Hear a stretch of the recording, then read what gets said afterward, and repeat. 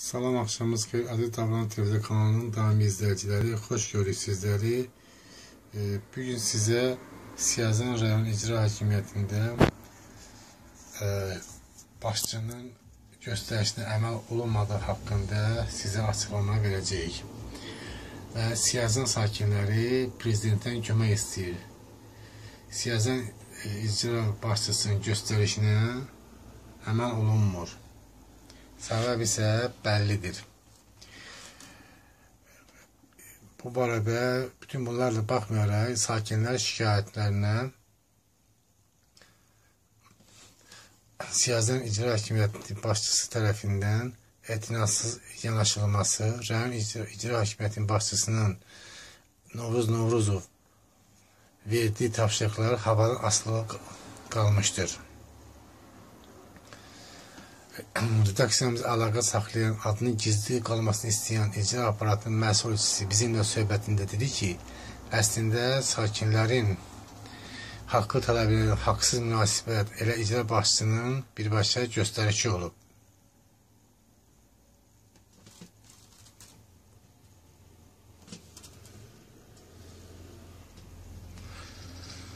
Belə ki, müharibə veteranı qanuni sənədi olan qarajda qeyri-qanuni maşın yuma ilə məşğul olan Arif şərtidir adlar. Arif Səfarov və onun dostu sakinlərin iddiasına görə Rafiq Novuz müəllimin qəbulunda olanda ona hədə qorxu gəlmiş, əgər maşın yuma məntəqəsi fəaliyyəti saxlanılsa, veteranların onun əleyhinə qaldıracaqlar. Elə redaksiyamızda olan Arif və Adil buna bənzər ifadələr işlətmişdilər. Biz başçının qəbulunda olarkən bədənimizdəki güllə yerlərini ona göstərdik. Bəlkə də buna görədir ki, Novuz Novruzov qanunsuz fəaliyyəti göstərən maşın yumanın da, dərhal fəaliyyətinin saxlanılması haqqında göstərişdən sonra bu göstərişi əməl etməyənlərə rayon rəhbəri olaraq sözü gedən yerə düşməsinə rəvac edib. Hər halda bu heç də xoşagələn hal deyil.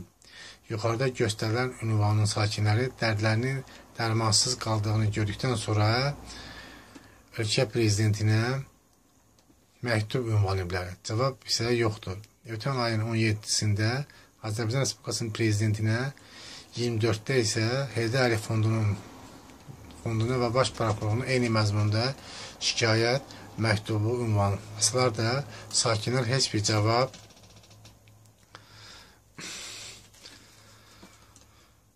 verilməmişdir. Ötən həftə isə məlum ünvandan yaşayan rayon sakinləri növbəti olaraq ölkə prezidentinə Cənab İlham Əliyevə müraciət ünvanlayıblar. Müraciəti bir sürəti də bizim Davranı televiziya kanalı redaksiyasına daxil olub.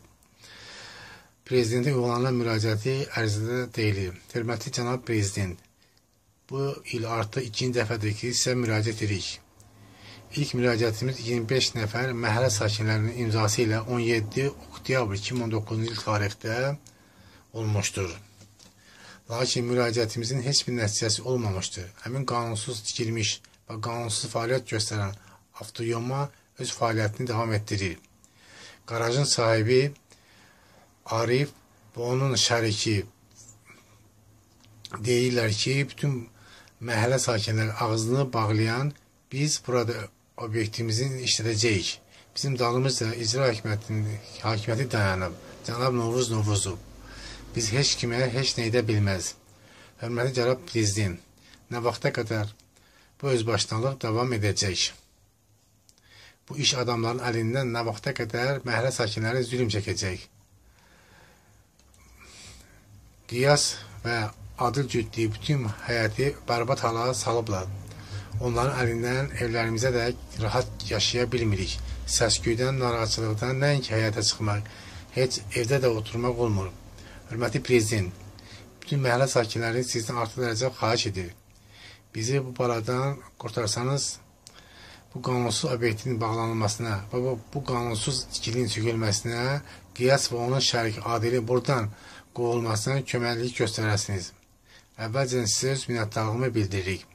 Hörmətli Davranı televiziya kanalı sizə təşəkkürümü bildiririk ki, bizim məktubumuzu efirdə səsləndiyiniz üçün. Və əvvəlcə sizə öz minnətdarlığımı bildiririk. Hörmətlə bina sakinləri cəmi 30 imza.